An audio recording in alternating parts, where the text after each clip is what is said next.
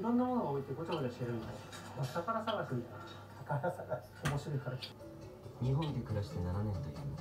中国出身でやってきたそう。ケア型で乗っててこれからいろんな探します。ペット。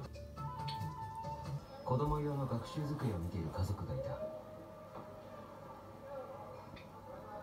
3年生なんですけど。あの自分の部屋でそろそろ勉強してもらおうかなと思って。今までリビングのテーブルでずっとやってたんですけどちょっとこう洗濯物とかしてる間にもう見てるからコロナ禍の中で結構ずっと喧嘩してばっかり。ここの二人はよく戦ってますよ二人がバカにして二人が机買うぞ。とでも肝心の机がなかなか決まらないらしいこれがいいって言われたんだけど。色とか可愛いから。